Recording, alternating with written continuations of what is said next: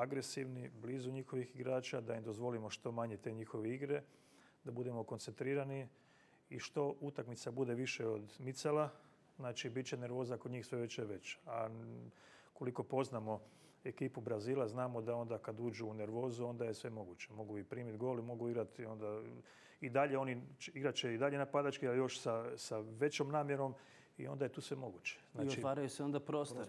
Otvaraju Sa se većim prostori. brojem igrači dolaze ili su nervozi. Znači treba vidjeti kakvu će taktiku izbornik ovaj, s obzirom da ima tu puno pluseva i za nas, ali ima i, ima i minusa. Znači u odnosu Brazil i Hrvatska, ako sad pogledamo, e, mi smo igrali isto kad i oni tako, ali su igrali oni utakmica koja je bila za njih revijalna bih rekao, znači nakon tog vodstva od 4-0, a mi smo igrali 120 minuta i, i ti 11 terci, znači to pražnjenje, emotivno, to veselje, prvo strah, neizvjesnost, pa veselje.